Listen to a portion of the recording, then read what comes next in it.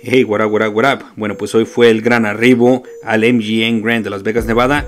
Ya es toda una tradición para este tipo de combates, peleas de pago por evento, peleas donde hay dos superestrellas, o por lo menos tiene que haber una estrella.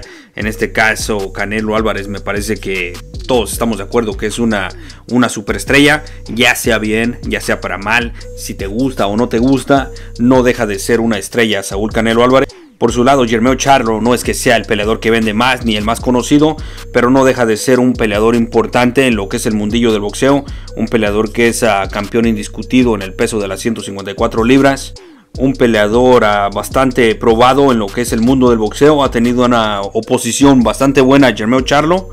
Y obviamente la incógnita aquí para este combate simplemente es ah, cómo se va a manejar en el peso de las 168 libras Germeo Charlo.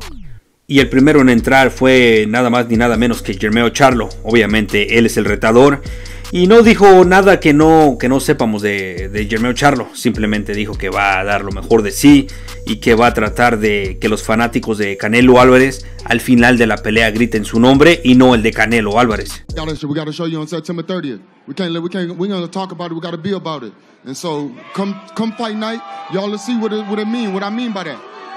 Ladies and gentlemen, Jermel.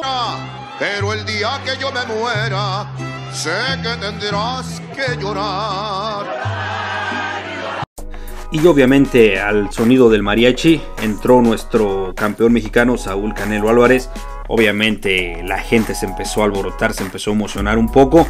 Y pues no es para menos, Canelo Álvarez en lo que va de los últimos años ha sido el campeón más importante para el boxeo mexicano, no solamente para el boxeo mexicano, pero para el deporte en general. Canelo Álvarez ha sido un boxeador muy muy importante en, lo que va de la última década. Obviamente ya cuando le preguntaron a Canelo Álvarez de que cómo se sentía, simplemente habló un poco de que ha tenido una preparación bastante buena para este campamento. Obviamente ya lo hemos visto en algunas imágenes que ha publicado en su cuenta de Instagram.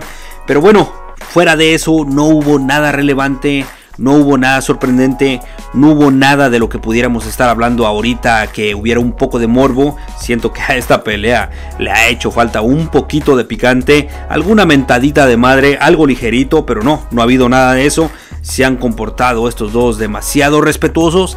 De hecho, creo que se han comportado demasiado respetuosos para mi gusto. A mí me gusta que le pongan un poquito de picante que haya un poquito de, riña, pero obviamente ese simplemente es mi gusto personal, me gusta que las peleas se calienten, no ha sido el caso para este combate, Germeo Charlo por alguna razón no suele ser así, pero para esta pelea se ha comportado demasiado dócil, algo que a mí en lo personal no me ha gustado mucho, pero obviamente no con eso estoy diciendo de que Germeo Charlo no vaya a dar lo mejor de sí en el combate.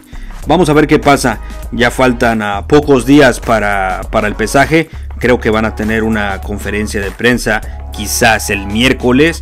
Y pues vamos a ver qué, qué tal uh, se desenvuelven en esa conferencia de prensa. Vamos a ver si finalmente a Germeo Charlo se le prende un poco la mecha y empieza a mentar madres un poco, pero lo dudo mucho, no lo ha hecho y dudo mucho que a fines de, de lo que va del, de la campaña para esta pelea haga algo Germeo Charlo al respecto. Pero bueno, vamos a ver qué combate nos dan estos dos, ya que en las conferencias de prensa y en la promoción de esta pelea siento que quedaron un poquito de ver, pero con que nos den una buena pelea, pues uh, esto en realidad no tiene relevancia. Vamos a ver qué pasa, raza. Nos estamos viendo y hasta la próxima. Bye bye.